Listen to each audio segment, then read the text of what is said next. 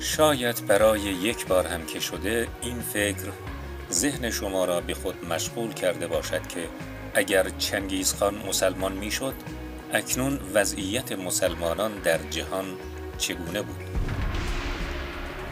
پس از لشکرکشی مغلها به مناطق مسلمان نشین اعراب که به قدرت او پی برده بودند هیئت‌های مختلفی را به دیدار چنگیزخان فرستادند. و او را به دین اسلام دعوت کردند. اما چنگیزخان دعوت آنها را قبول نکرد. به مکالمه یک هیئت عرب با چنگیزخان توجه کنید. خان خانان چنگیزخان آمده ایم تا شما را به دین اسلام دعوت کنیم. این اسلام که می‌گویید چیست؟ دینی است که به واسطه پیامبر عظیم الشأنمان محمد مصطفی به تمام بشریت ابلاغ گردیده است. پیامبر که می‌گویید چیست؟ نماینده برگزیده آفریدگار زمین ها و آسمان هاست که اینطور؟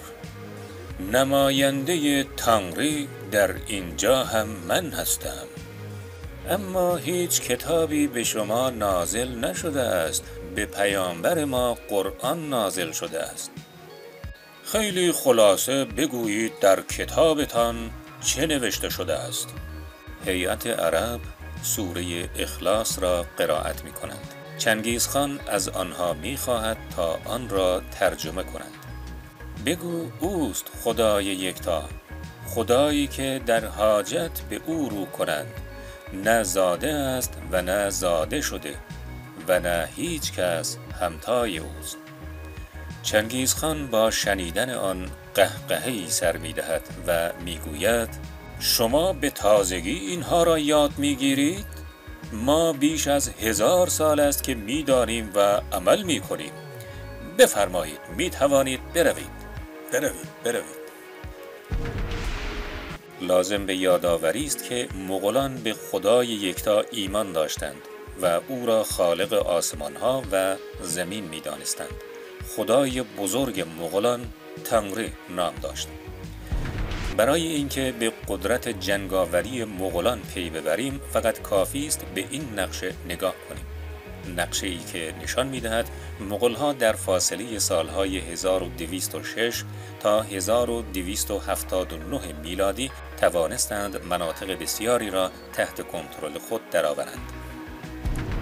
چنگیزخان اسلام را نپذیرفت اما اگر دین اسلام را میپذیرفت تاریخ کشورهای جهان طور دیگری رقم می‌خورد به عنوان مثال چنگیزخان قطعا به دلیل اینکه قدرت برتر آن زمان بود دین اسلام را به شرط ریاست خیش بر مسلمانان میپذیرفت تمامی مناطقی که فتح می کرد باید به اجبار مسلمان می شدند. از جمله آسیای میانه بخشهایی از اروپا، چین و دیگر مناطق جهان. آرمان او که همانا حاکمیت بر جهان بود به دین اسلام گره خورده و جهان شمول می. مغولستان به رهبریت و مرکزیت جهان اسلام تبدیل می شد. با پیوستن مسلمانان به ارتش مغول و وارد شدن واژه جهاد در بین آنان احتمالا بخش عظیمی از جهان حتی آمریکا توسط آنان فتح می شد.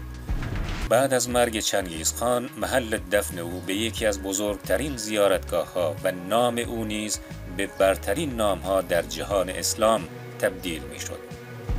سرنوشت ادیان دیگر دستخوش تغییر می شد. دینهای بودایی، هندو، مسیحیت و غیره در کمترین اقلیت قرار می گرفتند و شاید هم از بین می رفتند. زبان عربی و مغولی به عنوان برترین زبانهای بین المللی رایج می شدند. اینها که برشمردیم فقط چند نمونه از اتفاقاتی هستند که اگر چنگیزخان مسلمان می‌شد روی می‌دادند. به نظر شما دیگر چه اتفاقی میافتاد و وضع ما اکنون چگونه بود؟ در قسمت نظرات بنویسید. موفق باشید.